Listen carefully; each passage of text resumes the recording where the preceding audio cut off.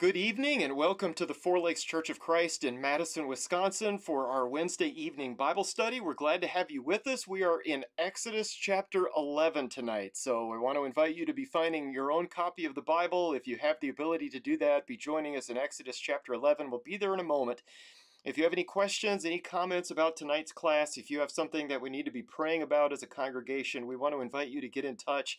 You can send a message to me at info at fourlakeschurch.org. You can also send me a text or make a call to 608 224 0274, and we'll try to have that information on the screen in just a moment. We are about to come to the end of the 10 plagues tonight.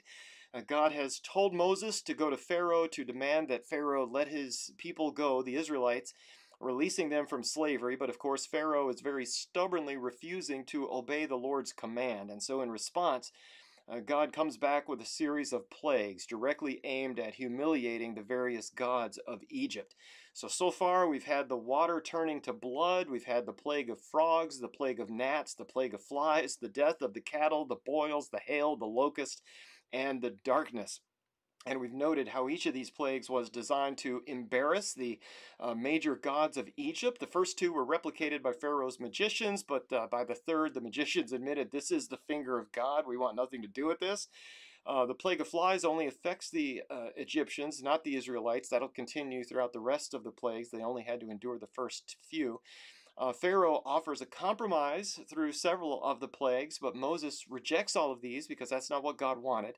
Uh, and generally speaking, just by way of review, Pharaoh's heart is hardened in this process. Initially, he hardens his own heart. There are few references to his heart being hardened without uh, specific reference as to who did it. Uh, but by the end, God is now described as hardening Pharaoh's heart. He's just helping him along in this direction that he's already going. So we've now had plagues 1 through 9. And tonight we are preparing the way for the 10th and the final plague. So we're not even going to get to the final plague, uh, but we have the setup for the final plague tonight. So let's jump back into it tonight with a lesson that's a lot, uh, I think, a lot shorter than some of the others that we've had. Just a, a, a short chapter tonight. So let's uh, continue with Exodus chapter 11, and we'll be looking at the first three verses. Exodus 11, verses 1, 2, and 3. Now the Lord said to Moses, one more plague I will bring on Pharaoh and on Egypt. After that, he will let you go from here.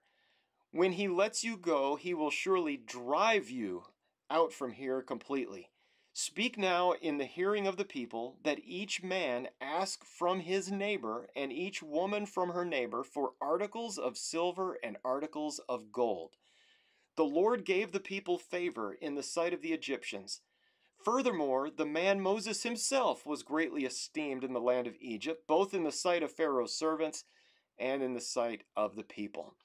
And so, according to God, this is it. This is, he's heading here to the last of the 10 plagues. And I find it interesting that God hasn't said this before any of the other plagues. In other words, even going into the first nine, God knew beforehand that Pharaoh would not submit to each of these plagues.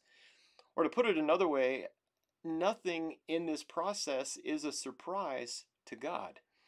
Uh, years ago, uh, I was down south listening to a lecture from Brother John DeBerry, who's an interesting guy, a wonderful gospel preacher. And in the lecture that I heard him uh, teach that day, he said, Has it ever occurred to you that nothing has ever occurred to God? That's an interesting statement. Nothing ever catches God by surprise. Oh, I've never thought about that before. No, God knew how Pharaoh would react. And so uh, now he's ready to bring this to a conclusion, and now he knows that this is it. So this is the conclusion. After this plague, Pharaoh will ultimately let the people go. And again, he never said that before the first nine. In fact, Pharaoh will not only let them go, but notice in this passage, he will drive them out of the nation. He will force them to leave. Uh, so he will not invite them to leave, he will force them to get out. Now, as they prepare for this, I, it's kind of interesting. God has a mission for the people. So this is uh, something that you need to do as a nation to prepare for this day to come. And so in verse 2, Moses is to very publicly explain that before they leave, each person is to just straight up ask their Egyptian neighbor for stuff that they can take with them. Anything made of silver and gold in particular. And notice this is not some kind of uh, military conquest, but God is going to give the people favor in the sight of the Egyptians. So, as I understand this, the Egyptians basically uh, feel sorry for them. You know, all they want to do is leave. And, um, you know, the leader of the Egyptians is preventing the Israelites from leaving. And so they're getting these plagues in the process. And I think the Egyptians are basically thinking to themselves, let them go. Leave them alone. Just let these people leave. You know, maybe they can understand uh, that the Israelites have been abused for far too long. So there is certainly some sympathy going uh, uh, in place here. In addition to that, um, there are some perhaps who understand that it was their ancestor Joseph who saved the nation. I don't think that's completely lost to history. I mean, of course, Pharaoh didn't care about that, but certainly that is not uh, unheard of. People would have understood that. At least some people out there would have understood that. But for whatever reason, the Egyptian people, they pretty much take the side of the Israelites here. So uh, Pharaoh and the leadership, they are on a completely different page altogether. And then at the end of verse 3, we also find that Moses has earned some leadership credibility here. You know, Moses is greatly esteemed throughout the land of Egypt, uh, both in the sight of Pharaoh's servants, but also in the sight of the Egyptian people. And so the nation, it seems, is perhaps turning against their own king. And they're starting to take the side of Moses and the Israelite people. Remember, they've suffered some things, haven't they? I mean, the, the nation is absolutely devastated. And uh, certainly word got out as to why that is. So let's continue and see what happens next. This is Exodus chapter 11, and we'll be looking at verses 4 through 8. That's the next paragraph. Exodus 11, verses 4 through 8.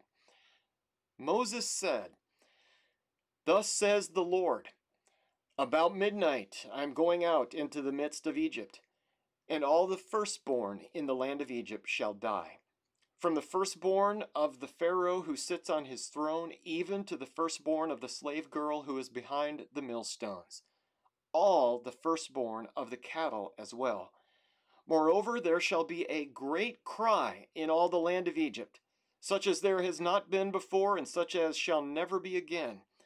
But against any of the sons of Israel a dog will not even bark, whether against man or beast that you may know that you may understand how the Lord makes a distinction between Egypt and Israel. All these your servants will come down to me and bow themselves before me, saying, Go out, you and all the people who follow you, and after that I will go out. And he went out from Pharaoh in hot anger. To me, it's not clear that Moses is speaking to Pharaoh here at the beginning and until at the end. But up in verse 4, Moses starts talking. So he's talking to Pharaoh. We just kind of don't know that right now until verse 8. But here Moses is speaking for God, and he's telling Pharaoh what's about to happen. This is what's going to go down. And as we've noted, this one, like the others, is basically a natural event, isn't it? And I say that because people die all the time. But this is miraculous as to the scope and the timing of it. As to the scope of this plague, every firstborn in Egypt will die. That's very specific. And not only the firstborn in every family, but even the firstborn of whatever cattle might be left. So animals are even included here. So that's the first part, the scope of this. As to the timing of it, this will happen at midnight. So that's interesting. This is not random. This isn't spread over a period of weeks or days. But this is very specific, both in who will die and when they will die. This is not some random event. But when it happens, it will be catastrophic and people will know exactly who is responsible for it because Moses has put this into words publicly right here before it happens, as he has with the other plagues, except for last uh, the last one didn't uh, get a warning, but all the others I believe did. And notice Moses also predicts the aftermath, doesn't he? At midnight there will be a cry unlike any cry that's ever been cried. We can hardly imagine that. If we think just among those who may be watching on YouTube tonight, quite a few of us would fit in that category of firstborn, wouldn't we? Who would die if all the firstborn died right now? My wife and I, for example, we're both the firstborn, as is one of our kids. And so, out of our family of four, we would lose three of us. Three out of the four would be gone because three of us are firstborn. Our daughter would be the only survivor. Both of my parents are the firstborn in their families so they would also be gone. And if we think about it for a second, the firstborn is obviously the most common birth order, isn't it? I mean, every family who has kids has a firstborn. Not everybody has a secondborn. I'm just saying that this is a widespread thing, and a lot of people were going to die that night, all at the same time. And since Moses is announcing this, we might assume that the Egyptian people might revolt and, and take out their anger on Moses. You know, how dare you do this to us? However, notice how God says in verse 7 that against the sons of Israel, not even a dog will bark. So here I think we have the first reference to a dog barking in the Bible. Um, but having a beagle in our family, I do appreciate the fact that the dogs will not be barking at the Israelites. That right there would be a miracle in our family if the dog didn't bark at something. Um, so when the firstborn die, God's people will not be harmed at all. There will be this supernatural distinction between the Israelites and the Egyptians, and it will be incredibly obvious whose firstborn are dying. In verse 8, since this is God speaking through Moses, I'm thinking that the Egyptians will be bowing down um, to God. That seems to be the reference here. I'm open to the idea of them bowing down to Moses since he is God's spokesman. They'd be begging him. But either way, uh, the Egyptians will be begging the Israelites to leave. And then Moses says that he will leave. And at this point, Moses leaves the presence of Pharaoh. And, uh, and Moses is on fire. Moses is angry at this point. So uh, let's conclude tonight with Exodus chapter 11, verses 9 and 10. Exodus chapter 11, verses 9 and 10. Then the Lord said to Moses, Pharaoh will not listen to you, so that my wonders will be multiplied in the land of Egypt. Moses and Aaron performed all these wonders before Pharaoh, yet the Lord hardened Pharaoh's heart, and he did not let the sons of Israel go out of his land. Well, after Moses leaves Pharaoh's presence, the Lord has another talk with Moses and lets him know that Pharaoh will not be cooperating before the fact. He, knows he's not gonna he's not gonna give in.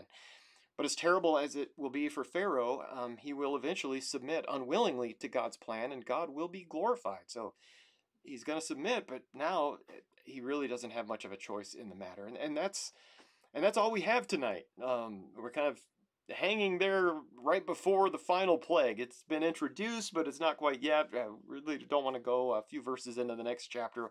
Keep a clean break here at the end of chapter 11. And of course, last week I mentioned uh, ahead of time that uh, tonight's class would be be rather brief, and I, I, certainly think that that's been the case. Uh, since we do have just a few minutes, I, I, thought I'd arrange the plagues in chart form.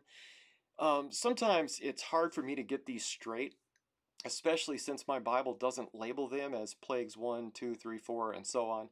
And so I've put them here listed in order, the left-hand column there of the plagues with a few highlights or notes, kind of interesting uh, facts or tidbits on the right-hand column there. Feel free to screenshot this or take a picture of it if you can. I'd also be willing to uh, email it out if this helps, just kind of uh, my notes to help understand this.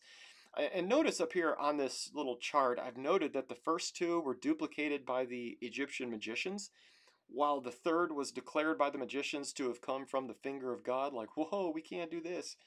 And uh, I've noted that the Israelites were exempted from the plagues starting with the fourth one, and so that is significant. They are exempt from number four on. And um, I've noted that the magicians actually flee Pharaoh's court during the plague of the boils, number six. That was kind of a neat thing. they had been duplicating these miracles, and all of a sudden, this one, they're like, we're out of here. This is terrible. We're not even going to be in the same room, and they made a run for it. Uh, I've noted how Pharaoh offers several compromises that are rejected by Moses, and then we have the 10th plague on here, even though we haven't technically seen it yet. Um, but we're headed there over the next week or two. But hopefully, this chart is helpful in some way. Maybe I can bring that back next week. But uh, let me know if you have any additions, any corrections. Kind of hard to get all that stuff right on there. But if you have anything that needs to be added there, uh, let me know and I'd be willing to update that before we come back together next week. But this brings us to the end of Exodus chapter 11. Uh, this Sunday, Caleb starts uh, leading us through a study of uh, random New Testament characters. That's what I'm calling it. Uh, the book that we're studying has a better description than that. I think it sounds better.